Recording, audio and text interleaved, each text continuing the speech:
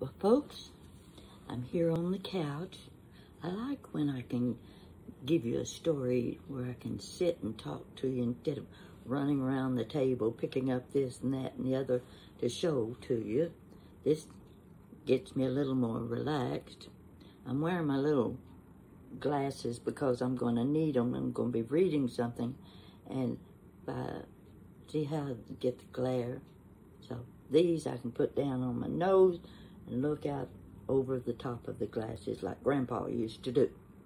So, this is one of those gloomy days.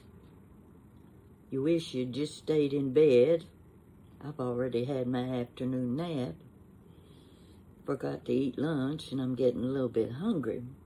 So you get you something to drink, sit back and relax, and we're going to have a history lesson today.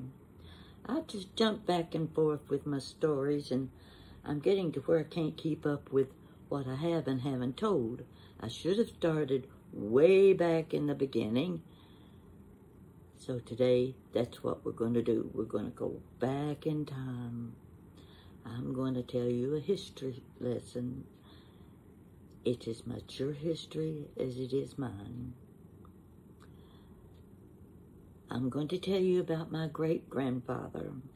Now, the most of this information came from my mother.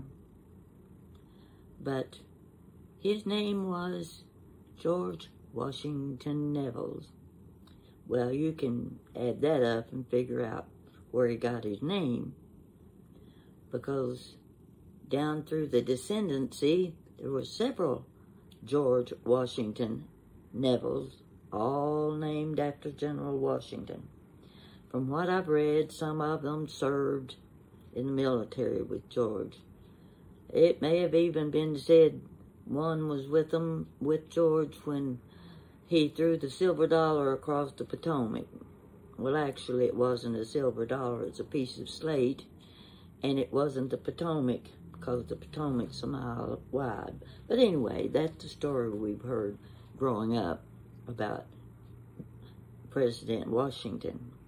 Okay, my great-grandfather, he was a tall, slender man. I've seen his picture. He had long white beard and he had a head full of silvery white hair. Nice head of hair. He was a well-to-do man. He owned a farm, or they may have called it a plantation back then. 1,200 acres. Now, this was during the period of the Civil War. He married a lady named Mary Sutton. Now, what little I know about Mary is that she actually descends from the Cherokee Indian Sequoyah. Now, I know you've all heard of Sequoyah. Sequoyah was the man who created the Cherokee Indian alphabet. You can go on the internet and you can read about him. So, that's what you might call my claim to fame. Anyway, Mary and George had eight children. My grandmother was Matilda. I've always loved her name. Matilda died when my dad was a baby, so he, he never knew her as a mother. But every Christmas, great-grandpa would call all the children in to receive their Christmas gift. Each child got a gift of a $100. Now, Grandpa had married twice. When Mary died, he remarried, and they had 11 more children. You can add that up, 19 children. It just blows my mind to even think of 19 pairs of shoes 19 winter coats before the kids can go to school. But that's how it was. But Grandpa had the money. He had the farm. He owned slaves. He had 20 slaves. At Christmas, my dad would walk 13 miles to receive his $100, which was his mother's share.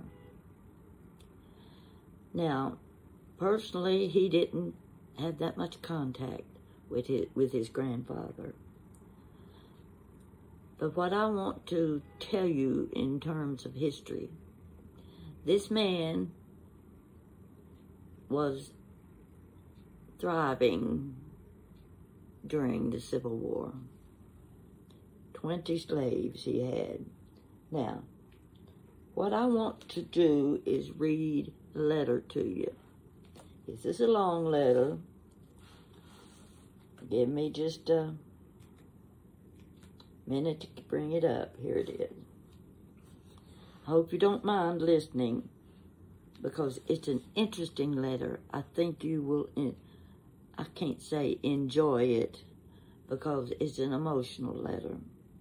This letter was written by his oldest daughter, Martha, after the Civil War.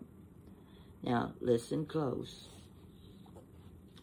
This is a portion of a letter written by Martha Nevels, daughter of George Washington Nevels.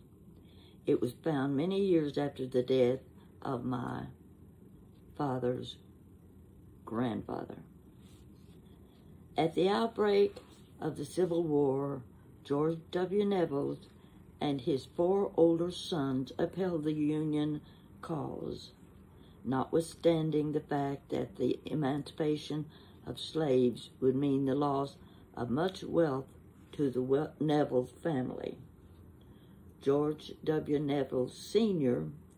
had 30 slaves set free by the war, and George W. Nevels Jr., that was him, and his two sisters had 20 slaves freed. But however, that was no object between the Nevels and their duty. They believed that a man to be true to himself must be true to his fellow man and to his country. They also firmly believed that the division of this grand union meant the downfall of a nation and the crumbling of a great republic. When the voice of the nation called, they answered bravely and promptly. And of those four brothers who went gallantly to the front, only one ever came back to comfort the heart of a frail and declining mother. The others had been laid to rest with a soldier's honors. Now, this is being written by Martha Nevels, the daughter. Bishop Nevels, for the last 40 years, a Baptist preacher and living near Kansas City, Missouri, was the only one of the four who survived the war. He saw active service for three years in the 1st Tennessee Cavalry and was wounded three times, once seriously and twice slightly. Another time he was saved from death by a suspender buckle. A musket ball well spent struck the suspender buckle on the left side and fortunately was turned. The old man will tell you in a husky voice of the good old days before the war. And he will tell you of the horrors of the war and the three noble sons who went to the war never to return. They were good boys, he will add, and a tear will trickle down the old withered cheek. And let me go to the next page. Okay. Down on the farm stands an old gate. It stands there all alone, just the gate and two posts, like a monument to the sad, sweet memories of the past. The timbers are very rotten and can hardly hold together. He will pause, wait a minute, he will point to it with a trembling hand and in a husky, shaking voice, tell you that that is the last work that Garrett did on the farm before he joined the army. Garrett died at Shiloh, but the gate is still preserved on the old farm at home, a monument to the memory of one so beloved. She continues, two of the younger sons went through the Spanish-American War. Mr. Nevels enjoys remarkable good health for a man of his age. I'm assuming he was nearing the age of 100 by this time. But his eyesight has been failing rapidly in the last few years. The fact grieves him very much, as he always took a deep interest in public affairs and never failed to read his daily paper. Very few men were better informed on current events than Mr. Nevels, so long as he could read, see to read. He has always been a very active, energetic man, and no longer than a half dozen years ago, he looked personally after the interest of his big 1,200 acre farm, riding here and there on a sleek horse, giving direction to farmhand, and looking after the work in a way that would have done credit to a man many years younger. Since then, he has given up the superintending of the farm, owing to failing health and eyesight, and he recently divided most of the land among the younger children. For several years, he has held an annual reception for his children and grandchildren, at which time he presents each one of the children with a check for $100, and in case the parent is dead, the check is given to the grandchildren. As there are 11 living children, and four of those who have passed away have left their left heirs to represent them, there are 15 such checks given at each reception. Now that's the story that my great aunt wrote about my great grandfather. This is history, folks. No matter how much people of today want to change our history, they can't change history. It was what it was, whether we liked it or didn't like it. It was there, and we have to accept it. I had another great uncle who died at um, Gettysburg. I don't know anything about his history but I'm sure it's very much the same as what I just read. I thought you would like to hear that because it's about the only history that goes back as far as the Revolutionary War. Because my ancestors, when they got off the ship on the eastern coast of the 13 colonies, that's as far back as I can go with my family history. Maybe you can do better than that.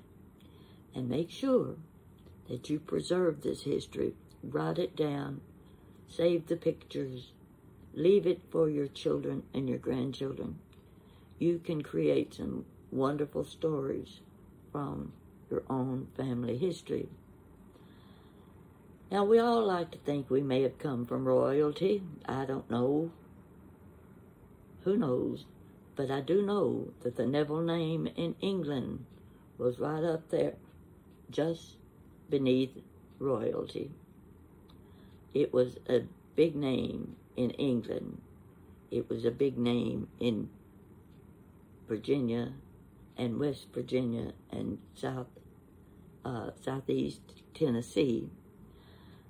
My great grandfather established the Corinth Baptist Church.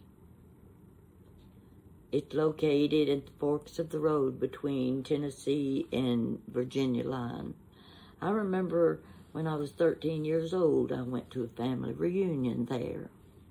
It's a small church, just a little one-room church, little white building, two or three steps up the front, but it's still there and it's being used today. While I was at the reunion, there were several of us kids there, and there was a man there who said, Come on, kid, follow me. Well, there was a creek beside the church, and they had big, great big stones, you know, big flat stones. Oh, the creek was so clear. You crossed the creek on those stones, and on the other side was a little building, and it said General Store. Well, the windows were boarded up, but the man unlocked the door, and he took us kids inside, and it was an old general store. The canned goods on the shelves were dusty. Things had just been left as they were when the doors were locked. But he had an ICEE machine inside, and he gave us all an ICEE. Well, now that was a big treat back in those days to have an ICEE, and you didn't have to pay for it. There was the great big red Coca-Cola box. You know the kind I'm talking about. They filled it with a big square of ice and water, and you reached down in that ice cold water and got the Nehi or your Coca-Cola or 7-Up out of the box, and by the time you found the one you wanted, your hand was freezing. I didn't know then that general store had been owned by my own grandfather and Mama told me about it later. That was the store where he made his living along with the big farm they had. So, I was getting a little bit of my own family history right there, not knowing that I was in my grandfather's general store that day. Uh, we went on up after the reunion was over and we got to see my mother's home place. This was a two or three hundred acre farm down between two two hills. It was like this and then there's a road in between and there's a barn and a house. The barn was in Virginia, state line marked on a post, and the house was in Tennessee we got to see the spring down below the house. Now, this was in October, and it was hot that day. But we walked through the bushes and the vines. Mama wanted us to see where the spring came down the hillside. We got back in there, and I'm telling you, it was like 20 degrees cooler. We got to drink from that spring. The best drink you ever had. Good, clean spring water. So that's the only time I got to see my mother's home place. It was one of those houses that had the uh, dog trot. You know what a dog trot is. It's in the middle of the house. Got rooms on this side, rooms on this side. That's where the dog hung out. But in her case, that's where Grandma's swing hung. She would sit in the swing and watch the sun go down. In the afternoons, you'd see the sun going down behind the hills, and that was home for her. She had lived in that house raising her own 20 children. Now, actually, only 10 of them were hers. 10 of them, no, wait a minute. 12 of them were hers, and 8 belonged to her second husband. Her first husband was also in the Civil War. He went away, leaving her with my Uncle Abram and my grandmother, Amanda. She was just about two years old when my grandfather went off to war. Well, actually, he was captured and they took him. The enemy soldiers would come across the fields and they could see them coming and they would raid the home, take anything of worth and the food. They always took the food. So there was my great grandmother. No, my grandmother. She was the baby. And my great grandmother trying to take care of two little ones. So it was when she felt that her husband had died in the Civil War, she remarried. And that's when she married the man with eight children. And she raised 20 children. That's how it was in those days, folks. That's history for you. The house that my grandparents lived in was my great grandmother's house. My grandfather re, well, he didn't rebuild, he renovated the house. He added extra rooms. He put big fireplace in the in the uh, dining room, and the other fireplace faced the parlor. And at night, in the wintertime, the kids would gather around his chair by the big open fireplace. Grandma, grandmother would bring in the, uh, what kind of nuts? Hickory nuts. She'd put them in a little brown bag and she'd put them in the coals of the fire. And when they would heat up, they'd pop. They'd pop. And the kid got a kick out of that. But that's when Grandpa would tell them history. He would tell them about their uncles and their grandfathers and their cousins going away to war. This was also the Civil War, the war that our country wants to change its history. The war that my great uncle died in at Gettysburg. You're not going to change that. He fought at Gettysburg. He died at Gettysburg. There was one time he was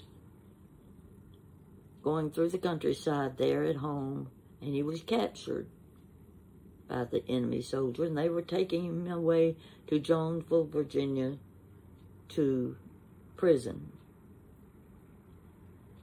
And Grandpa would tell the kids a story about. His name was uh, Jesse Ben, Uncle Jesse Ben. On their way, they were going by horseback. They stopped at a creek and they bent down to get a drink of water.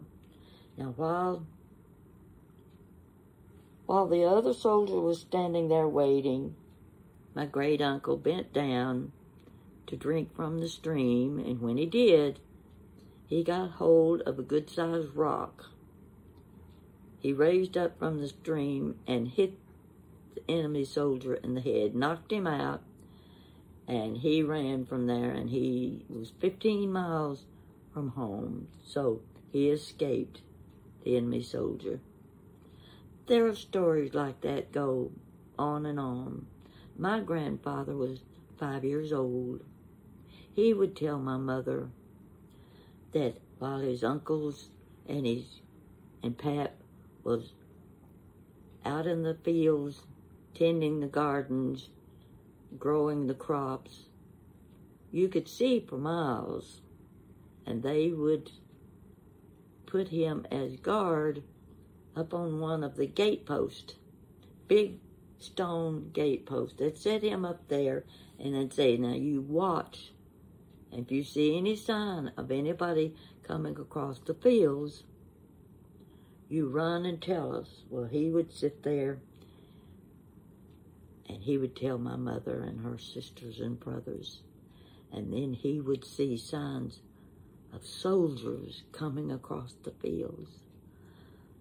They were coming toward the farm. He jumped down from that post and he ran as fast as he could. The soldiers are coming, the soldiers are coming. And so the men all threw down their tools and headed for the woods. They hid in the woods until the soldiers left. That's history, folks. That's Civil War history. So many things happened, and our country is trying to deny these things. No, no. You keep in mind your family history is sacred to you, and nothing can change it. Nobody can change it, and you don't want to change it. So, that gives you a little bit about the Revolutionary War, the American, uh, Spanish-American War. It was a short war that, that my uh, great uncles fought in. And maybe in the next story I will tell you will be about the uh, flu epidemic, the 1918 influenza epidemic that killed about 600,000 Americans. Actually, I think it killed about a million Amer a million, a million people. And my parents were among the patients. They suffered through the influenza epidemic. I'll tell you that story. I'll tell you about World War II. Don't know anything about Vietnam because there were no family members during Vietnam. But I think you will find my story about the flu epidemic and about the Depression years and World War II. Very interesting. So you stay with me.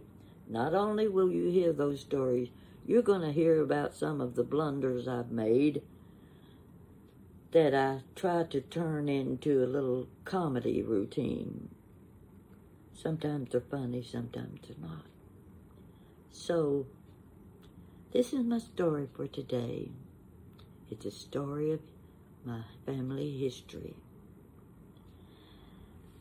And I would like to have met some of those people. I would love to have known those people. But I still have my written notes and the things my mother told me. She was able to tell me more than my dad was. My dad wouldn't talk about his family because he was the youngest and he was orphaned at the age of 13. He went to work when he was 15, he got a job with L&N Railroad. He had to lie about his age because he wasn't old enough. But he told them he was 18, and he began working for the L&N Railroad. And that was the beginning of his adult career at the age of 15. So, I hope you liked this story. It wasn't a good one. I know it wasn't. But it's history. We don't want to forget our history. So thank you for joining. I'm going to go fix me a chicken salad sandwich. It's leftover chicken salad. And I have had my fill of candied grapes. And they're good. I'll tell you. They're just like popcorn. You eat one, you've got to have another but I've still got a few left, and I'm going to eat those later this evening. Thank you for staying with me and listening to my stories. And please, please, please comment. Please let me know whether or not you approve of the things I'm telling you. Because that matters to me. I want to please you as much as I want to please myself. So, I'm going to let you go now. I've given you 30 minutes. Now I'm going to go eat. Bye bye.